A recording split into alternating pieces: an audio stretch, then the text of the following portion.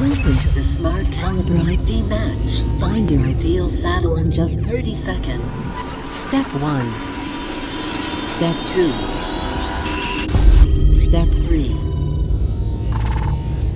Your size is S3,